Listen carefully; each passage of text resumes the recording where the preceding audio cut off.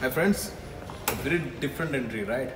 Actually, an exit from a luxury vehicle which is coming to India next year, the Toyota Vellfire. It's a luxury van which will be competing with basically Mercedes V-Class and this will be a very different lifestyle vehicle from Toyota. I can't give you a review right now because it's just an introduction video uh, which Nippon Toyota Kochi dealer allowed me to do with permission from Toyota Kirloskar, uh, Toyota.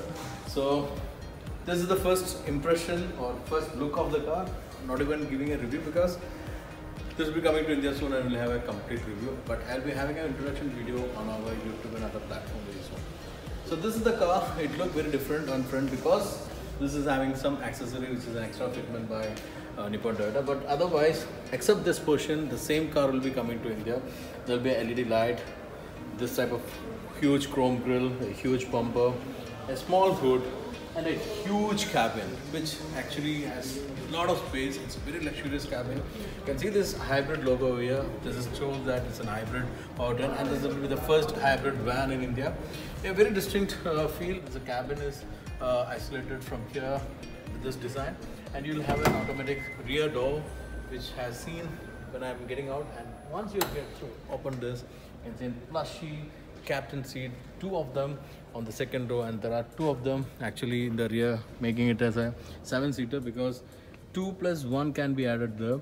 And this is a very plushy seat with all kind of adjustment. Normally we see on a business class flight, which can be controlled over here. You can slant, recline the rear. You can up it. There's a calf support which can be adjusted two way you can lift it as well as you can elongate it if you are a tall person just reduce it and there's an option to cool the seat and heat the seat so this is the main part of this car this captain seat the second row seat. Door can be controlled many way. You can just pull it to close it and you can also control it from the driver's seat with touch of a button. This is the rear quarter glass and here is the space for the third passenger. And I myself can sit easily there. So it's not very cramped a huge uh, rear end. You can see a lot of chrome very different tail light. And once you open the boot oops, even if the third row seat is up there's small space for your luggage. And if you want more space you can fold it and get huge space and can be controlled electrically so that can close it.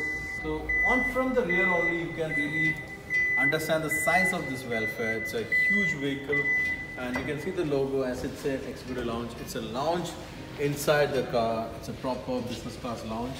And as I said, this sliding door is the main element of this rear portion wherein like you can get in very easily and you can get out also easily.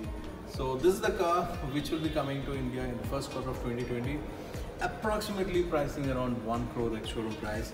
So this will be a new segment uh, variant with the hybrid technology and there will be a add-on to the luxury van segment which is flourishing in India for top-end business and hotel customers.